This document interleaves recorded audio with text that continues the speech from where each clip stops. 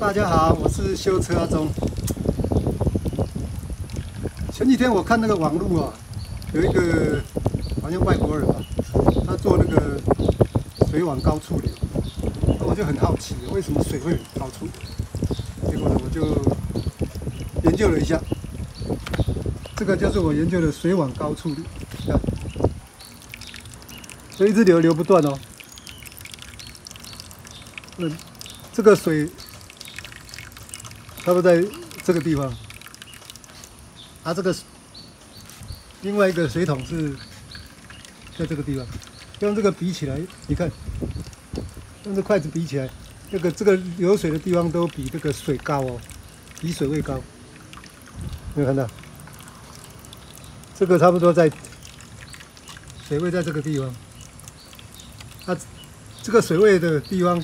比桶子还低哦，可是水呢比桶子高，它这一直流流不停，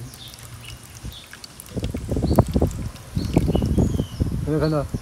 这水往高处流，那这个水是从这边吸进，把那个桶子里面吸过来，吸到这下面这个水桶。那这个水桶呢，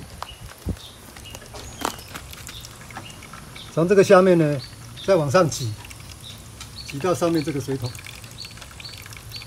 它这个这边的水流水出来是从这个下面，没看到？从这下面到上面，这水往高处。